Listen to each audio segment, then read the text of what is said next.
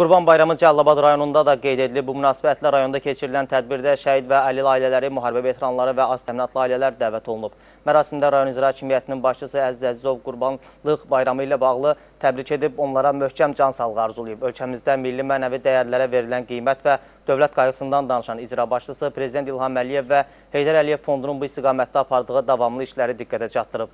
Sonda qurbanlar kəsilib, mindən çox əlil, şəhid, tənha və kimsəsiz ailələrə Qarabağ müharibəsi veteranlarına bayram sovqatı paylanılıb.